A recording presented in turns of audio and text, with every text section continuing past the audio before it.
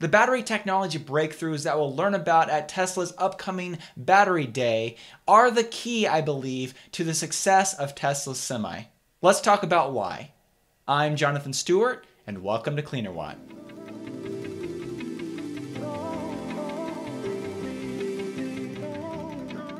Bill Gates recently put out a blog post on his website entitled, How Do We Move Around in a Zero Carbon World? In this particular blog post, he made some statements about electric vehicles and specifically electric 18 wheelers that has drawn some controversy. Here's a quote from that blog post The problem is that batteries are big and heavy. The more weight you're trying to move, the more batteries you need to power the vehicle. But the more batteries you use, the more weight you add, and the more power you need. Even with big breakthroughs in battery technology, electric vehicles will probably never be a practical solution for things like 18 wheelers, cargo ships, and passenger jets. Elon Musk publicly gave his opinion when Richard on Twitter asked him about his opinion on these statements. Elon Musk said he has no clue. So who's right? Is Bill Gates right or is Elon Musk right? With old battery tech from several years ago, technically Bill Gates is right. However, battery technology, and especially Tesla's battery technology, is not standing still. Even with 2020 battery tech from Tesla, I believe their semi makes some sense. But with the breakthroughs that we're going to learn about at Battery Day, I believe that makes the semi even more viable and it's going to make it a no brainer for companies when it comes to the cost per mile of transportation. Before we dive into the rest of this video's content, I wanted to take just a moment to thank the Patreon supporters who support me every month and help me make this content and bring it to you. A special thank you goes out to my performance supporters, Bradford Ferguson of Halter Ferguson Financial, John Money, and Inku Kang. Also, thank you to these other supporters listed at the bottom of the screen. There are two specific battery breakthroughs that I'm looking for from Tesla that will specifically make the Semi even more viable. The first one is increased energy density, and the second one is increased battery cycle life. First of all, let's dive into the increased energy density, talk about why that's important, and dive into some of the reasons why I believe Tesla is going to release a much more energy dense version of their battery very soon. One of the biggest reasons why the energy density of batteries for a long haul truck like the Tesla Semi, why that's so important, is because if your battery's way too much, that takes away from how much you can actually haul with that vehicle. If you're able to haul a lot less with an electric semi than you could with a diesel semi, that can actually cut into your efficiency as an operator. Let's do some quick math for the battery tech found in the Model 3 and the Model Y, the 2170 cells, and also estimate how much battery capacity will be found in the Tesla Semi to illustrate how heavy these batteries might be.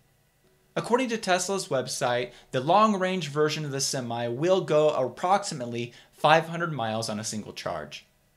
Their website also states that it should have an efficiency of somewhere less than 2 kilowatt hours of battery capacity needed to travel a mile. So, using these numbers, we can estimate that the Tesla Semi might have a battery size of somewhere around 1,000 kilowatt hours. In order to figure out the energy density and the weight of the Tesla Model 3 and the Tesla Model Y battery packs, the 2170 cells, I found this CleanTechnica article that talked about the energy density for a battery cell teardown performed by Jack Rickard. According to this article and also the video that Jack Rickard put out, the energy density of the current 2170 cell at the cell level is somewhere around 247 watt hours per kilogram. He also estimated that at the pack level, the energy density of the Model 3 pack was around 159.5 watt hours per kilogram. So if you assume a 1 megawatt hour battery pack for the Tesla Semi and you assume this same energy density, that would give you a battery weight at the pack level of around 13,823 pounds. So as you can see, if Tesla was using current battery tech in the Semi, that would eat into the amount of cargo you could haul with the truck. However, I believe Tesla is going to reveal the breakthroughs at Battery Day that will allow for this watt hours per kilogram to become a lot more energy dense than what we see here with this current battery tech. If you take a look at this chart, this helps illustrate why it's important for Tesla to reduce the weight of the battery packs in the Tesla Semi. According to my research, a typical semi truck, a long haul semi truck, can weigh somewhere around 20,000 pounds or greater. A semi truck flatbed usually weighs somewhere around 10,000 pounds. We also know that the total weight limit for a semi truck on a US road is 80,000 pounds. So if a typical truck weighs 20,000 pounds and the flatbed trailer weighs 10,000 pounds, then that particular truck could haul approximately 50,000 pounds. About a year ago, the CHP from the Donner Pass Commercial Vehicle Enforcement Facility posted this photo of a Tesla semi loaded down with concrete lock blocks. According to this post, this vehicle was operating at approximately 75,000 pounds, and the truck was exceeding range estimates. This particular revelation is actually really important because with this picture and with the load we see here on the semi, we can actually calculate roughly how much the truck weighs. So when you look at the side view there, it looks like there are roughly five big concrete blocks. However, when you look at the same Tesla semi load on this YouTube video showing the same truck, you can see that it's actually blocks side by side. So this Tesla semi is actually carrying nine of these concrete lock blocks. According to the Bashaw Concrete Products website, each one of these concrete lock blocks weighs around 4,200 pounds. So if the Tesla Semi is hauling nine of these concrete blocks, that comes out roughly to around 37,800 pounds. So from this load, we know that the Tesla Semi is hauling nearly 38,000 pounds on the trailer. We can use this number and some of the other numbers that we know from the typical weights of semi trucks and trailers to figure out just how heavy the actual Tesla Semi is. As we estimated, those nine concrete blocks weighed approximately 37,800 pounds.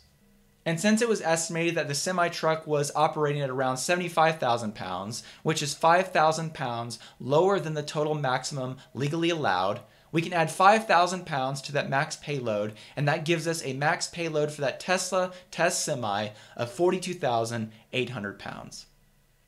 So if you subtract the flatbed weight and also the max payload number that we got from that picture, that would give you a truck weight of around 27.2 thousand pounds for that test prototype semi.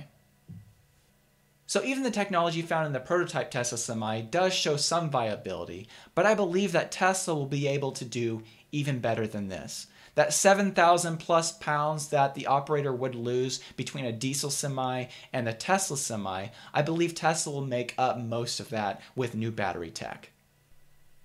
Before Tesla purchased Maxwell Technologies, they showed their roadmap of reaching somewhere greater than 350 watt hours per kilogram sometime in the 2020s. We talked about this in previous videos, but they have a revolutionary dry battery electrode process, and we know Tesla bought them much because of this process. I believe Tesla, with this dry battery electrode technology at Battery Day, could release a battery made for the semi with a 50% increase in the watt hours per kilogram at the pack level. If Tesla is able to do this and decrease the battery weight, it could make the payload capacity on par with a traditional diesel semi truck. This kind of battery technology would allow for a no compromises battery electric semi that would also allow for a lot of cost savings on the fueling and energy end. No payload compromise plus cost savings equals a very commercially viable product. The second big factor that's important for battery electric semis to be very viable is that they need to have very long life for the batteries. The average long haul semi drives approximately 100,000 miles per year, and many of these trucks last around 1 million miles before they are replaced. With Tesla's current technology, according to Elon Musk, they are designed to last around 300,000 to 500,000 miles.